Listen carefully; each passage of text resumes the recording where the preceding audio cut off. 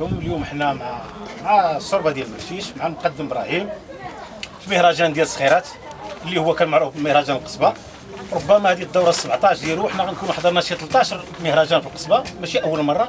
غيبنا شي جوج مرات ولا ثلاثة نظرا اللي كانت واحد يعني كان عندنا واحد السبب عائق ما خلاناش نحضروا كانت وفاه واليوم حنا مهرجان الصخيرات موجودين جينا بدعوه بدعوة رسمية من المقدمين ورئيس الجماعة.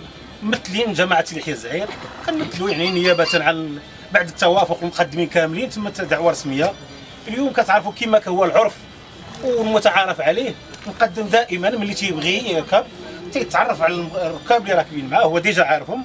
والتوجيهات والنصائح ضرورية منها لأنه راه البارود هذا. وغنخليو السي إبراهيم المقدم يتكلم على الإخوان ديالو. سيدي السلام عليكم. مرحبا بكم سيدي في هذه المناسبة إن شاء الله بحول الله. كنطلبوا من هاد الركاب اللي معايا يكونوا باستعداد مزيان. وتنطلبوا السلامة لينا وللجميع السرب اللي اللي مشاركة في هذا هذا المهرجان هذا. والله يجعل سيدي ربي هو ينصر سيدنا محمد ساس محمد السادس ولهذا هما الخيل يديروا اللي عليهم واللي عندنا قادر بها. قادر بها. الله يسخرها. السلام عليكم. فاتحة بسم الله الرحمن الرحيم. الحمد لله رب العالمين. الرحمن الرحيم. مالك يوم الدين. إياك نعبد وإياك نستعين. اهدنا الصراط المستقيم الصراط الذين أنعمت عليهم. غير المغضوب عليهم ولا الضالين. آمين. قل هو الله أحد. الله الصمد لم يلد ولم يولد ولم يكن له كفوا أحد.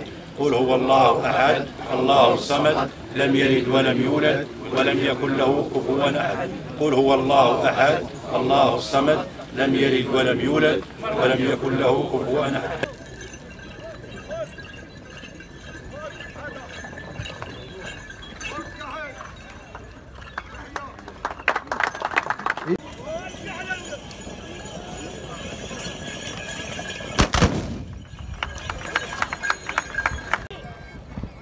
يلا حركة طق طق حركة طق صوت يلا بنعلم محمد بنعلم إلى عيسى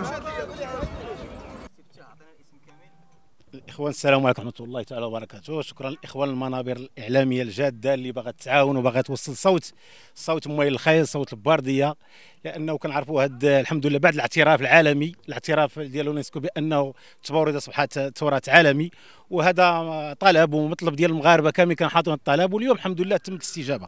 بعد التوقف ديال ثلاث سنين ثلاث سنين الحمد لله يعني انطلاقة راه كانت انطلاقة من الجامعة الملكية اللي كيترأسها ولي العهد مولاي عبد الله ويعني والجامعة الملا والجامعة الملكية تشجيع الفرس ديال لاسوريك اللي الحمد لله كنشوفوا هي بدات في بدات في الأنشطة ديالها وفي الإقصائيات اللي دارت على صعيد الوطن وعلى صعيد الجهات.